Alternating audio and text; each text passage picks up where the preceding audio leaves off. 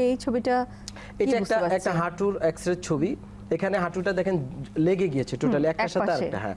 এটা হচ্ছে যেটা আমরা বলছি ডিসইউজ মানে দীর্ঘদিন যদি হাঁটু ব্যবহার না করে যদি কেউ চেয়ারে বসে দীর্ঘদিন নামাজ পড়ে নিচে না বসে সিঁড়ি না বায় এবং হাঁটু ব্যথার রুগীরা হয় তারা হয়তো এটা করে না যা হয়তো ব্যথা পায়। এবং যেহেতু সঠিক চিকিৎসা সে হয়তো পায় নাই তখন আস্তে আস্তে জোড়া দুইটা ফিক্সড হয়ে যেতে পারে যেটা আমরা বলি অ্যানকালোসিস।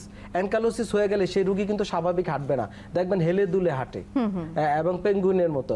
এবং আপনার কাছে ডিফর্মিটি নিয়ে আসে আমরা গেইটের বিভিন্ন অ্যাবনর্মাল গেট বলে থাকি, যে তার অ্যান্টালজিক গেট বলে থাকি বা ওয়ার্ডলিং গেট বলে থাকি, এইসব গেটে সে সে আসবে আমাদের কাছে হেঁটে এবং বিভিন্ন ডিফর্মিটি তখন তাদেরকে আমাদের চিকিৎসা দিতে অনেক সময় লেগে যায়।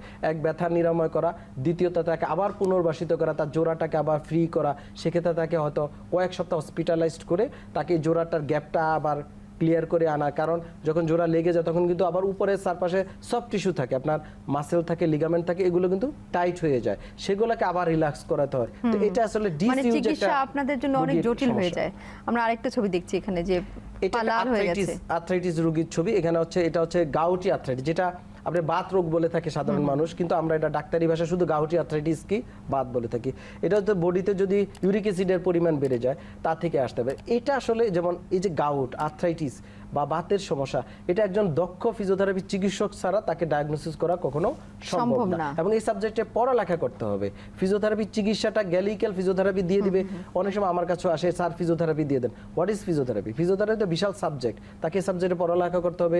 এক্সারসাইজগুলো যদি ভুল হয় যেমন আপনার আর্থ্রাইটিস হাঁটুর রোগীর আর্থ্রাইটিসের চিকিৎসা একরকম যদি লিগামেন্ট ইনজুরি হয় তার থেরাপি আর রকম হবে। এই জিনিসগুলো জানতে হবে। আচ্ছা ঠিক আছে আমরা একদমই শেষের দিকে চলে আসছি। আমার মনে হয় যে আপনি খুব ইম্পর্টেন্ট কথাগুলো বললেন। ফিজিওথেরাপি না জেনে না বুঝে দেওয়াটা একদমই ঠিক না।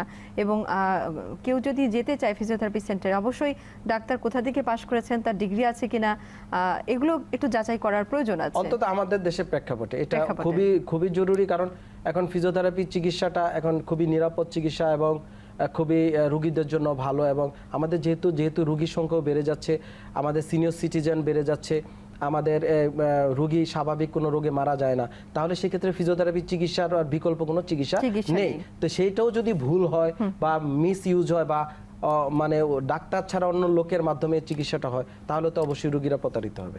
আজকে এর মতো শেষ করতে হচ্ছে। আপনাকে অসংখ্য ধন্যবাদ অনুষ্ঠানে আসার জন্য। আপনাকে অনেক ধন্যবাদ।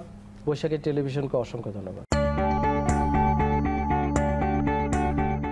আমরা জানি আপনার প্রিয়জন আপনার জন্য কতটা গুরুত্ব বহন করে। আর তাই সঠিক ডায়াগনস্টিক রিপোর্টের জন্য আপনারা আমাদের কাছেই আসেন।